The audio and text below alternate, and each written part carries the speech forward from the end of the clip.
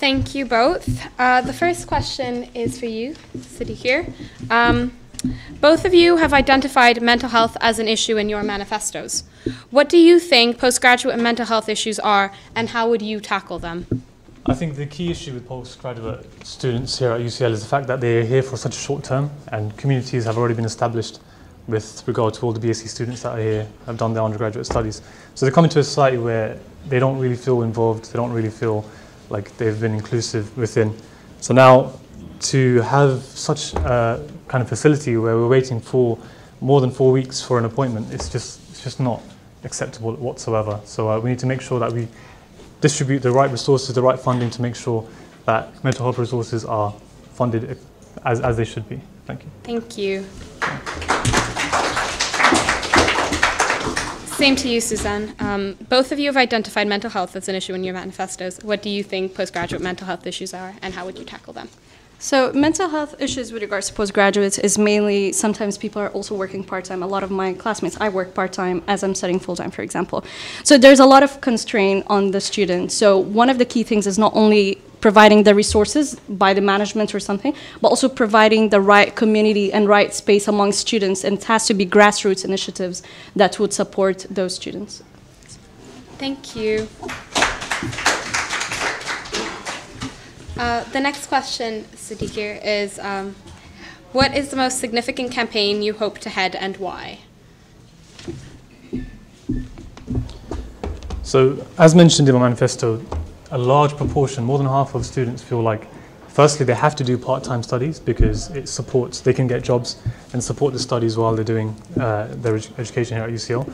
Another kind of like really important fact is that they feel as though um, they have limited or no support to financial assistance. So we really need to address this issue and make sure that they kind of like meet their um, academic aspirations and not limited simply because of finance or something that simply is just really not important at all.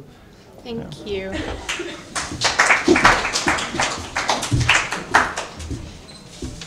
Same to you. Okay. So one of the key campaigns would definitely um, involve extra scholarships, yes, even uh, as Sadiqir uh, mentioned, but also especially for international students. I'm an international student, and there are so little scholarships that are provided, and sometimes this also increases the burden. And of course, for UK students, this would also be ensured. At the same time, one of the key things is postgraduate students do not get, get enough experiences, work experiences, or that's involved in their curriculum. So I would involve more practical um, areas in the in the curriculum. That's it. Thank you. The last question for you both is what do you think is the most significant difficulty faced by postgraduate students? I think the most significant difficulty faced by postgraduate students is the fact that they don't feel involved. They're here for such a short period of time, as I mentioned before, and we need to find new ways to make them feel inclusive, feel like the union is in support of them, and just to make sure they are involved with the student body and uh, they make the most of their education here at UCL. Thank you. What do you think is the most significant difficulty faced by postgraduate students? I think um, it is true that they're not involved enough, but also a lot of uh, the students here, postgraduate students, are mature students, like they have had their work experience, and sometimes this is not taken care, uh, this is not taken into consideration when they're looking at their curriculum uh, or even like uh, career opportunities. Um, so definitely, this is one thing that I would increase is that basically get them uh, get the right right people involved, and at the same time uh, involve them in the community even further, given their short time. Yes. Thank you both.